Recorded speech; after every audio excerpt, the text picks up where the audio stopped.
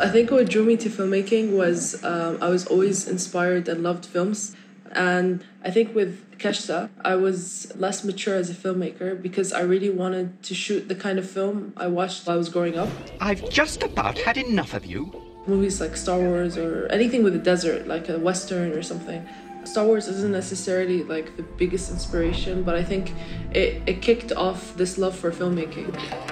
Hi, As I've grown and the bigger knowledge I have of films and stuff, I think I've started to create my own voice.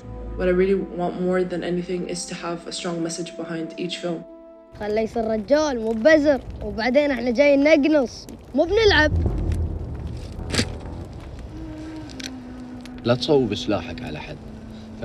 اشياء ما تصلح When I got my grant for Kashta, I knew that that was a huge milestone. I knew that it was the first time I was actually going to work with a professional crew, and I, I really went out of my comfort zone and I worked with a production company. Okay, ready? And action! I think for me, production is the best part of the filmmaking process because I really enjoy going out into the outdoors and, and away from human civilization and just breaking free from life. And I feel like I live in this bubble when I'm on set and I'm so calm. I feel like I'm in my, my zone, my place. With Kashta, I would have to wake up at 3 a.m. and then we'd have to be at Zekreet right before sunrise, which was around 5.30 or something. And then we'd start shooting from 5.30 to 5.30 p.m.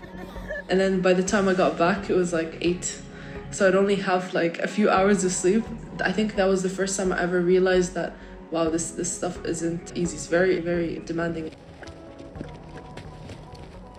crew that I worked with were really like a family. I feel like it was everyone's film, everyone that worked on it put in like a lot of their time and effort and really pushed to make the best kind of film that we could. My favorite part was the dolly zoom uh, shot. As you can see, the movie Jaws or Vertigo. We were really worried that it was gonna look cheesy and it was gonna be a waste of time and everything. But I think that was the best shot in the film.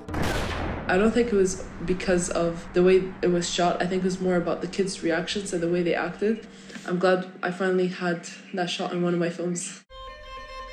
أفضل فيلم روائي قصير فيلم كشته المخرج الجوهر الفاني I didn't think when it premiered in Ajia that it was going to have the kind of love and appreciation that I got. I, I can't believe I'm, I'm the one who won this. Like, I legit think everyone here deserves to win this. With Kashta, that was the big stepping stone that showed my family that um, I was serious about this. I enjoy watching it, even though I don't. I don't like looking back at my work. But as a filmmaker, that's how you feel. You always feel like I could have done better here. I could have done this here. But with that, I just felt it was a beautiful, beautiful time. so uh, I love it.